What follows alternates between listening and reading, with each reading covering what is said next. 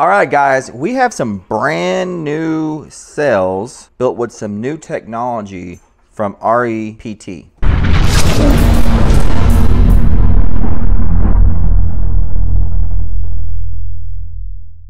All right, let's take a look at what we got here.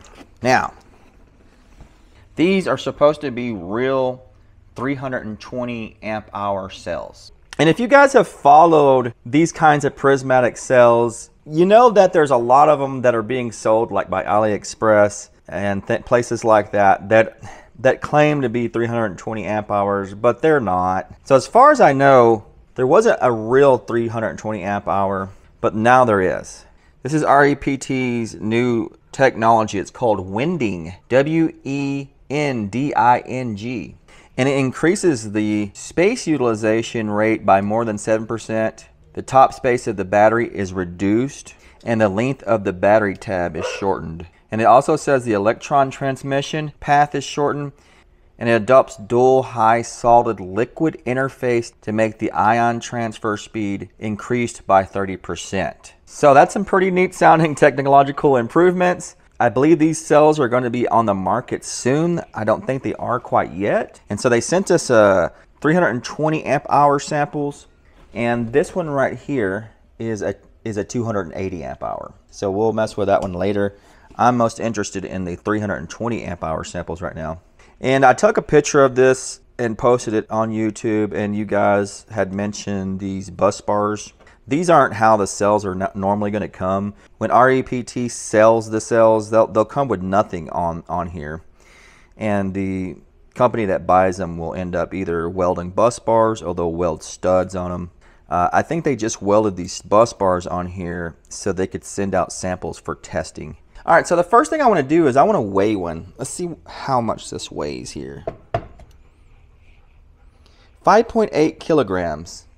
Let's let's weigh the 280 amp hour cell. 5.8. So the 280 amp hour cell weighs the same as the 320 amp hour cells? That's weird. All right, guys, so we're going to charge one of these 320s up, and then we're going to do a discharge test to see what we actually get. Will we get the real 320? Will we get less? Will we get more? We got to know, right? And so right now it's setting at 3.3 volts, and I'm going to charge it at 15 amps, I believe. There we go. All right, 15, 15 amps. So we'll just let that sucker set there and charge up and I'll come back and we'll do a capacity test. Alright, so this cell has fully charged. This little charger resets itself after a period of time. I don't know if you can see that. There you go. Um, I came out here earlier and it said that it had put in about 200 amp hours, but it's reset itself since then, so it's back to zero. I wish it wouldn't do that, but it does. But I do remember it was 200. Let's start it again. Yeah, we see the voltage climbing up. That way we know we're totally at 3.65. There it is, we're at 3.65. We're starting to taper off on the current. Alright, so I'm going to hook it up now and do a discharge capacity test. All right, you guys, we're all set up to do a capacity test. It did get colder here. We are like in the 50s, 40s, yeah, high 40s. And I want to make sure that these the cell stays in the 70s basically. So I've got this uh, little heater up here and I'm going to try to maintain 70s. So as you see, we've got 70 on the cell right now. So we're going to make sure it stays in the 70s. You can see these guys over here are in the 50s, but we're not testing them, so that's fine. Uh, so let's go ahead and start the test. And we're discharging at 30 amps. Looks like we're doing about 93 watts. And we're going to discharge it down to 2.4 volts. And this is going to take forever. All right, so we're just gonna let that run and I'm recording a time lapse, so we'll catch every minute of it and uh, we'll see what we get.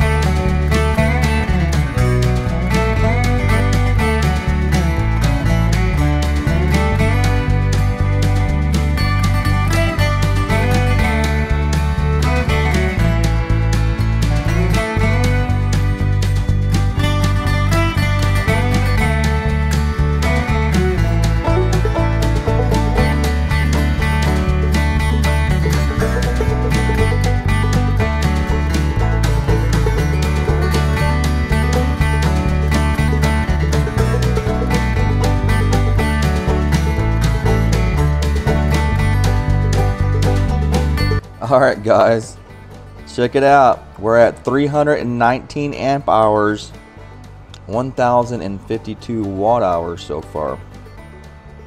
We're still holding uh, almost 3 volts, so 2.968. I do believe we're going to hit uh, 320 amp hours. These are the real deal. So uh, we've had the heater kind of keeping everything warm over here so you can see we're in the 70s so that's great. So we're not too cold.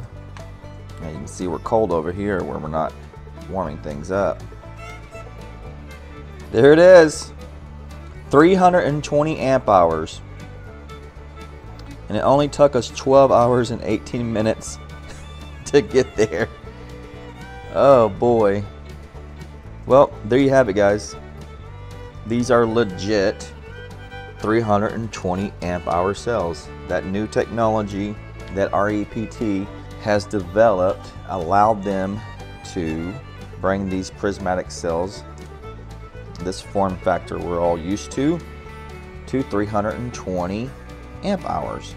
Amazing. That's awesome. Now the question is, is how much further will we go? Will we get 322 maybe? I don't know. Let's let it keep running.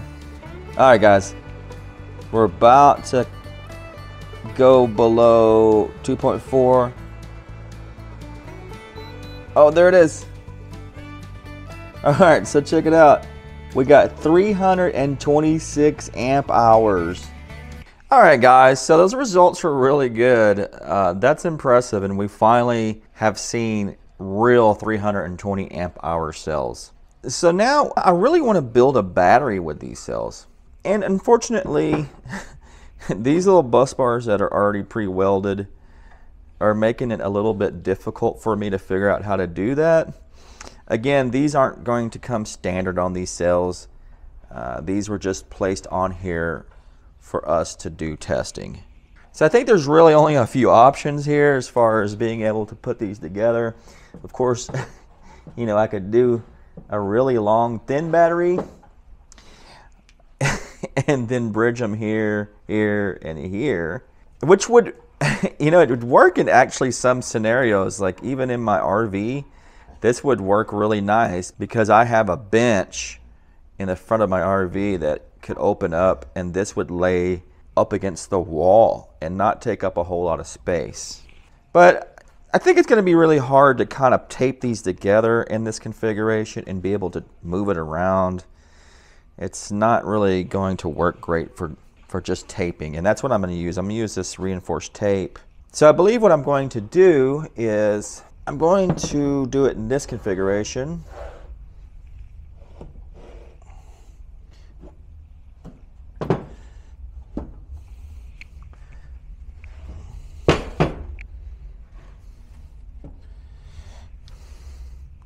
That should work just fine. Of course, you know, it's going to be a little wider than it needs to be just because these bus bars are sticking out the sides, but that'll be okay. Uh, I made these little copper bus bars here that will fit perfectly there and there. And so all I have to do now is I can use this length of wire here to connect these. And then the four cells are in series. And this would be my main negative and my main positive. Of course, it needs a BMS. Uh, so don't ever hook these cells up and try using them without a BMS. Okay, so I got a couple of things I'm actually going to put in between the cells. I'm going to use these leftover SunFun kit spacers to go between the cells here. And then I've got a piece of fish paper that's going to go between the cells here.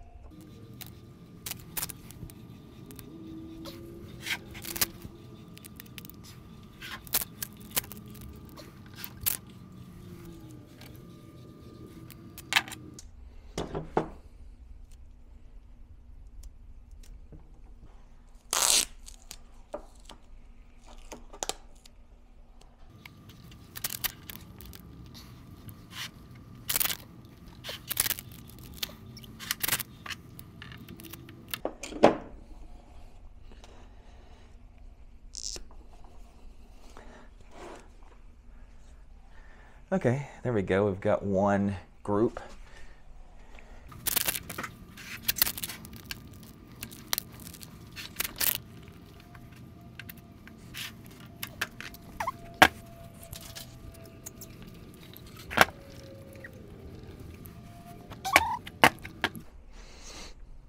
And there we have it. We have two cell groups here. Uh, basically, now it's two 6 volt batteries. Put our fish paper in between the two just to make sure we have some good isolation. And now we can tape that whole bunch together.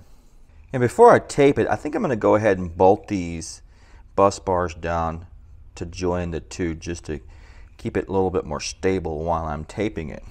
And before I do that, I'm gonna put some some corrosion inhibitor on these bus bars since they're just pure copper. Okay, I just sprayed a little touch on there. You don't have to like oversaturate it. All right, so let's uh, do the final taping here now.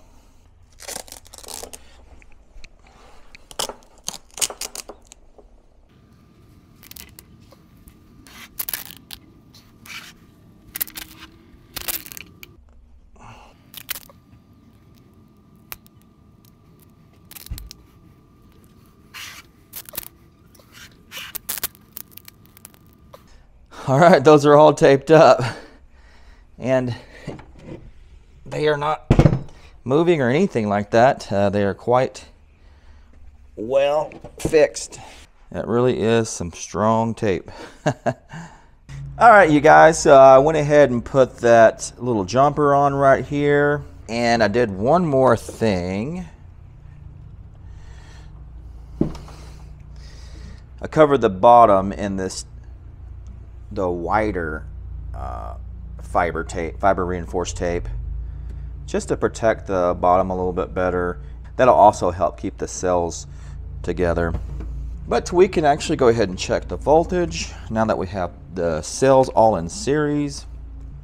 And there we go, we've got uh, 13.18 volts. And that is a 12 volt battery. Now, again, it doesn't have a BMS. So it's not a full, complete 12 volt battery. You can't, uh, it can't be used yet safely.